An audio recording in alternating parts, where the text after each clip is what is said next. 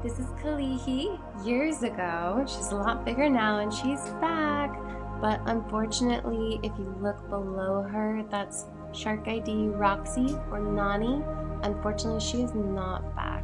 And this is a video from years ago when she had that big gouging hole in her side and she had been gone for a while. Hopefully she's okay.